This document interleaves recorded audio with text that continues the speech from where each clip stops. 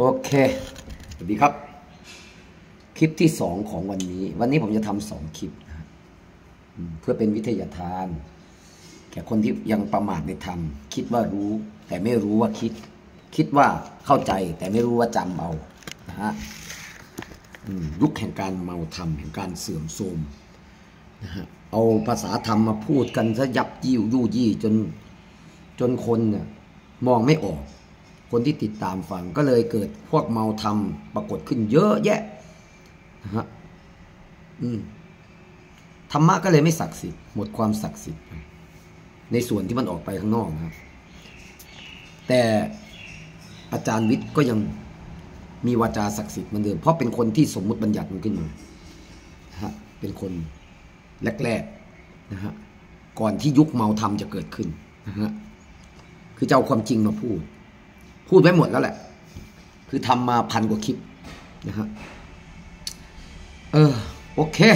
เดี๋ยววันนี้เราจะมาพูดตรงนี้ ในขณะผัสสะยังไม่เกิด นี่หัวใจมันเลยครับจิตมโน ผมเขียนไว้เมื่อกี้เนี่ย แล้วก็เดี๋ยวแชร์เป็นธรรมทาน ในขณะผัสสะยังไม่เกิด จิตมโนมันนอนเนื่องอยู่ในอยู่ในนั้นก็คือภูมิ ภูมิของจิต อืมยังไม่เกิดภพชาตินะฮะยังไม่มีภพชาติเกิดขึ้นในขณะที่ผัสสะยังไม่เกิด แต่ผัสสะมันเกิดเร็วมากเลยนะเกิดดับเร็วมากผัสสะกระทบทางตาทางหูทางจมูกวันๆเนี่ยนะฮะมันยังไม่เกิดภพชาติ ในขณะผัสสะเกิดภพชาติถึงจะเกิดขึ้นทันทีนี่ฮะสายปฏิจจสมุทประบาทฟังไว้นะฮะ ในขณะที่มีภาษาปั๊บภพชาติจะเกิดทันที มันจะบุ๊บไปถึงยันภพชาติเลยเกิดขบวนการเกิดขึ้นนะตั้งอยู่และดับไปนะฮะผมถึงบอกอย่าประมาทถ้าเชื้อโรคยังติดอยู่ในภูมินะภูมิของจิตอ่าก็คือช่องว่างในที่กับแคบ ติดอยู่ในช่องว่างในที่กับแคบ ที่พระพุทธเจ้าท่านตัดไว้ อ่านะฮะถ้าตัดไว้ดีแล้ว ในขณะที่ก่อนที่จะเกิดการปรุงแต่งนั่นแหละ มโนมันนอนเนื่องอยู่ มโนกรรมมันติดอยู่ในภูมิตรงนั้นอยู่นะฮะพอมีปฏิสนธิเอ้ยมีการผัสสะเกิดขึ้นการประเกิดปฏิสนธิอืมของเจ้ามโนวิญญาณ หรือโอปติกะตัวนี้มันจะเกิดขึ้นเร็วมาก จนเราไม่สามารถทำลายล้างมันได้ มันไปคล้องกันอยู่ตรงนั้นน่ะ มันเลยพากันไปหยุดคิดละความคิด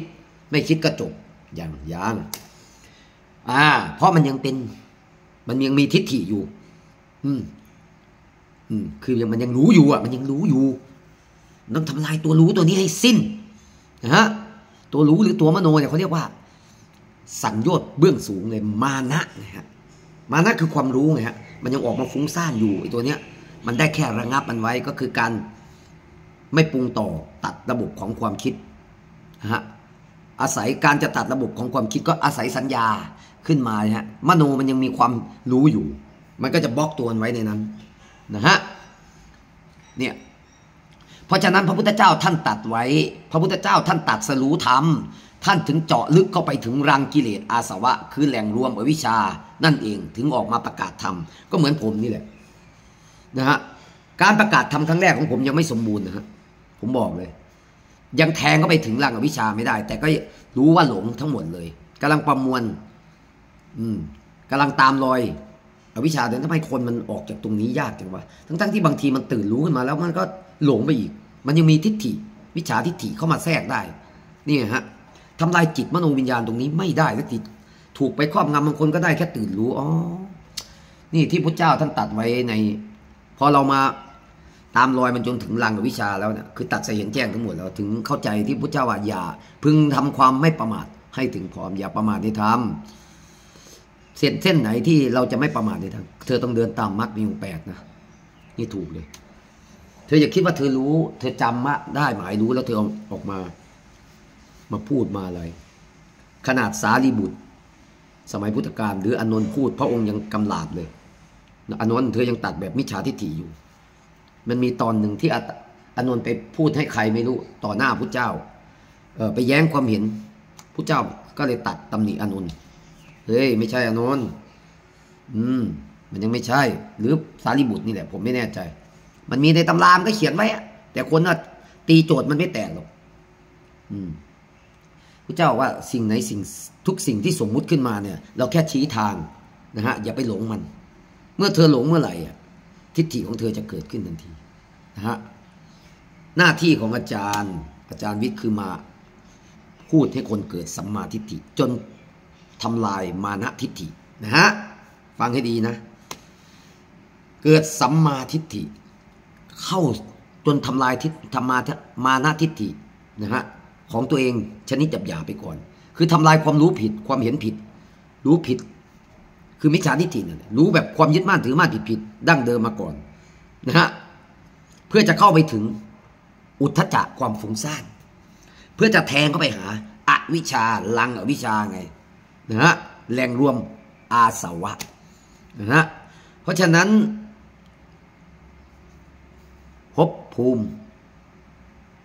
นะฮะนะฮะภพชาติที่เขาบอก อืม มันไม่ได้ไปง่ายๆอะ เพราะว่าจิตมันเป็นมายา มันได้ห่อหุ้มทุกสิ่งทุกอย่างไว้บนโลกนี้ ไม่ว่าโลกหน้าโลก นี้ มันยังห่อหุ้ม มันเป็นภพภูมินะ เพราะฉะนั้นชาติยังไม่เกิดเหนื่อยก็จริงตราบใดที่มันยังเป็นอุปติกาอยู่ มันก็จะอยู่ในภพภูมินั้นไปเปลี่ยนเปลี่ยนเปลี่ยนจากภูมิพอภูมิภูมินี้ หมด หมดหมดสิ้นอายุไขภูมินี้ มันก็เปลี่ยนภพไปไปสู่ภูมิใหม่ ไปสู่ภูมิใหม่ตลอด จนกว่าว่ามันจะมาเป็นชาติเกิดชาติขึ้นมา ชาติอะไร ชาติของสัตว์เดรัจฉานชาติของมนุษย์ อืมฮะนอกนั้นเป็นเป็นภพภูมิหมดเลยนะฮะไม่ยันนรกอะมีมีสัตว์เดรัจฉานแล้วก็มนุษย์เท่านั้นที่จะเกิดเป็นชาติได้ พวกนี้ตายอะตายเป็นซากมีซาก เกิดมีลูกนะฮะเกิดจากคันอืมเขาจึงเรียกว่าไอ้นี่ไง สัตว์เดรัจฉาน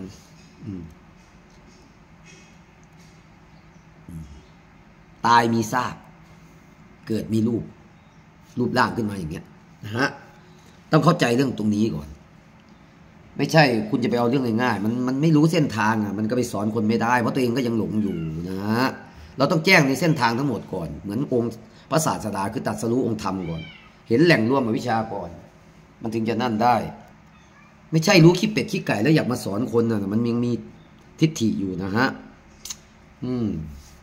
เขาเรียกว่าความรู้มานะทิฏฐิมันทำลายความรู้ตัวนี้ไม่ได้มันข้ามตัวมานะถ้าพระเจ้าท่านตัดไว้ว่ามันเป็นสังโยชน์เบื้องสูงเราคล้องอยู่อะ เออเราคล้องในความรู้ของเรานั่นแหละความรู้ความจำอะความคิดของเราเนี่ยอุทจารความฟุ้งซ่าน นะฮะแล้วก็อยากจะสอนคนพอมันหลงไปตรงนี้แล้วโอ้โหมันหลงจริงๆนะครับมันไม่กลับมาหาตัวเองแล้วแทนที่จะกลับเข้าสู่รังกับวิชา เอ๊ะกลับมาดูตัวเองมันหลงไม่หมดเลย ผมนึกบอกว่าเนี่ย พวกนี้ไม่เห็นตัวเองยังไม่เห็นตัวเอง มันไปติดข้องที่ความรู้กันหมดเลย มันเลยยังไม่เห็นสายเกิดสายดับที่แท้จริง มันได้แต่คิดเอาจำเอาประมวลเอา นี่แหละที่หลงกันอยู่ ยังไม่เกิดญาณอาสวะขยายานนะฮะ คนพวกที่เกิดอาสวะขยายานน่ะ ถ้าเขาไม่ตัดสรู้ธรรมอะตัดสเห็นแจ้งกลไกตรงนี้เขาจะไม่เขาจะเงียบไปเลย เหมือนลุงตามหาบัว เหมือนลุงปู่ดาไม่รู้จะสอนอะไรไม่รู้จะพูดยังไง เออหลวงปู่ดุลอย่างเงี้ยพูดไปมันก็จะพาคนหลงไปอีกนะฮะก็จะไปก็จะสมมุติคำนู้นคำนี้ขึ้นมาให้คนไปยึดติด ไปเชื่อว่าสิ่งที่พระอริยะเหล่านี้ท่านตัดขึ้นมาเนี่ยมีอยู่จริง อืเชื่อจริง ๆ ทีนี้มันเลยสุ่มเสี่ยงแต่การติดกรรมวิบากนะฮะสร้างกรรมให้คนอื่นเขา มันก็หน่วงให้ให้ตัวเองอะรับพลังงานลบไปแบกพาเขาหลงผิดอีก เพราะฉะนั้นการที่จะมาออกมาเผยแพร่ธรรมต้องตัดสเห็นแจ้งจริงๆนะครับไม่งั้นจะมิจฉิมิจฉิไอ้มิจฉาทิฏฐิเข้าแทรกนะฮะคุณจึงทำลายภพภูมิไม่หมด คุณทำลายชาติตัวเนี้ย ไม่หลงไม่หลงอะ เออ แต่คุณยังทำลายภพภูมิไม่หมดนะฮะมโนวิญญาณหรือมโนกรรมหรือจิตเนี่ยมันฉลาดมากฮะมันเป็นมันสร้างกับดักไว้หมดแล้วผมบอกว่าพุทธเจ้าเนี่ยตัดสรู้ธรรมถึงอยู่เหนือมันทั้งหมด เห็นกลไกมันทั้งหมดเลยอาจารย์วิทย์ก็เหมือนกันอาจารย์วิทย์เห็นแจ้งในในเจ้าจิตมโนวิญญาณอันนี้ว่าอืมันฉลาดมากเลย มันอวิชชาที่ห่อหุ้มมันไว้เนี่ยหนาแน่น การที่จะทำลายวิชาให้แตกดับจนสิ้นจริงๆเนี่ยมีทางเดียวก็คือต้องเดินตามเส้นทางมรรคของพระเจ้า เบื้องต้นเลยนะทุกภพทุกชาติจนกว่าจะถึงความสิ้นอาสวะนะฮะต้องมีการสะสมในเส้นทางของมรรคนะฮะมายาวนาน ผมเชื่อเลยเราถูกสอนแบบผิดๆมานาน แล้วคนก็เลยเกิดมาในชาตินี้ก็เลยเป็นมิจฉาทิฏฐิอยู่ตลอด มิจฉาทิฏฐิอยู่ตลอด คนที่มีสิมสัมมาทิฏฐิเนี่ยก็จะจูนมาหาผมทันทีเลย จะเข้ามาหาอาจารย์วิทย์ เพราะเขาตามหาเส้นทางของอผู้รู้อะผู้ที่รู้จริง ผู้ที่เห็นแจ้งจริง พูดแล้วก็แทกถึงจิตมโนวิญญาณของเขาจริง ไม่ใช่พูดแล้วเขาจำเขาปรุงชื่นชมมันคนละเรื่อง อืม เพราะฉะนั้นคนพวกนี้ก็จะอยู่ได้ไม่นานหรอกฟังผมไม่นานก็จะออกไปฟังที่อื่นไปเรื่อย ไปยึดเอาธรรมะที่อื่น อืม เพราะฉะนั้นคนที่ต้องการจบภพชาติจริง ๆ ถึงจะแทงในตรงเนี้ยถึงจะมั่นคง แล้วก็ฟังไปจนเรื่อยๆ จนจนถึงถึงวันหนึ่งมันไปต่อไม่ได้ มันยังติดอยู่ นั่นคือเขาไม่ประมาทในทาง ต้องมาหาอาจารย์เท่านั้นเอง อืมนะฮะ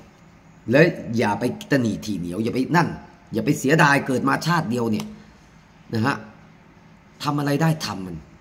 เพราะเรามีโอกาสชาตินี้ชาติเดียวนะฮะพบผู้รู้ ผู้รู้ผู้มีปัญญาอย่าว่าผู้รู้เลย ผู้ที่มีปัญญา เห็นแจ้งแทงตลอดทั้งหมดแล้วเนี่ย แล้วออกมานั่งสารยายอย่างเงี้ย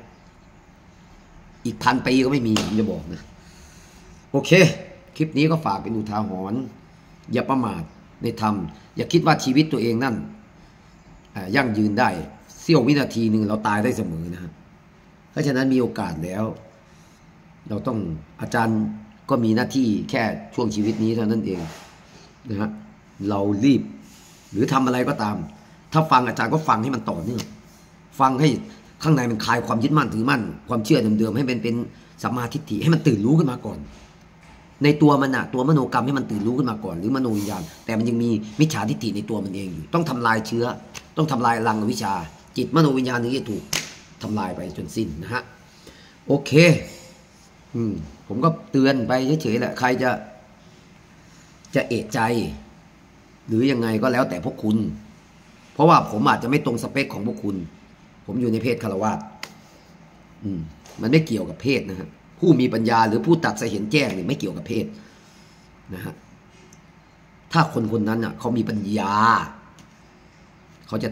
ชี้ให้คุณเห็นว่าคุณหลงอะไรนะฮะการแสดงธรรมวงกว้างนี้ผมแค่หวานสมาธิิคุณต้องผ่านรูป ลักของอาจารย์ไปให้ได้ ผ่านเวทนาของคุณให้ได้ แล้วคุณจะเข้าถึงสามตัวใน ถ้าสามตัวในมันยอมรับแล้วนั่นแหละ มันถึงจะมาหาอาจารย์ได้ไม่มันจะไม่เกิดความลังเลสงสัยเกิดความกลัว ไม่งั้นวิบากตัวนี้มันจะเถียมันจะคอยเอออยากจะไป แต่ดังนั้นติดขัดตรงนู้นตรงนี้เฮ้ยทำไมต้องอย่างนี้ทำไมต้องอย่างนั้น นั่นแหละ ผมถึงบอกข้างในมันต้องเปิดยอมรับก่อนมันถึงจะมาหาผมได้ โอเคครับ คลิปนี้ก็จบแม่งแค่เนี้ย ต้องฝากเบอร์โทรไว้ไหมเบอร์โทรของอาจารย์ก็อาจารย์ก็ฝากแทบทุกคลิปนะ 0 9 8 3 4 1 8 6 4 4อออิสระ หรืออาจารย์วิทย์นะฮะ สถานธรรมยังต้องการรั้วตอนเนี้ยแล้วก็ปรับแต่งสวนนะฮะใครเห็นประโยชน์แห่งปัญญา ฟังอาจารย์แล้วได้เกิดเกิดเกิดปัญญาขึ้นมาเเกิดสัมมาทิฏฐิขึ้นมา เห็นถูกว่าอ๋อใช่ ถอนความยึดมั่นในมิจฉาทิฏฐิความเชื่อเดิมๆได้ก็ แล้วแต่คุณนะฮะคุณส่งเสริมอืมติดต่ออาจารย์ได้ตามเบอร์โทร หรือติดต่อเบอร์โทรคุณบอกได้ศูนย์เก้าสองเจ็ดหกแปดเก้าหกเจ็ดสี่นะฮะ ที่ตรงนี้จะเป็นที่เดียวในโลกใบนี้ สถานที่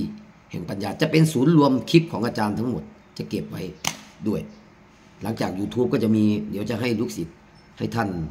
ท่านมหา ท่านเป็นคนทำเก็บ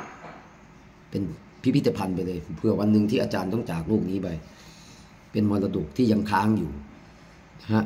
ให้เราได้กลับเข้ามาคลิปไหนดีๆ ผมจะเก็บ ผมไม่ได้เผยแพร่นะฮะคลิปดีๆ คลิปที่ที่แทงเลย ผมจะเก็บไว้เก็บไว้เก็บไว้ เผยแพร่ไม่ได้ เพราะว่าพวกคนถอยมันรอก๊อปผมอยู่มันรอเอาความรู้ที่ผมอุปมาขึ้นมา เวลาผมสอนสดสอนตรงชี้ปังปังปังปังเนี่ย พวกนี้มันรอนะฮะเพราะตอนนี้เป็นหัวใจหลักของมันเลย ทั้งหมดเลยนะฮะไม่มีไม่มีราคาซื้อขายกันนะ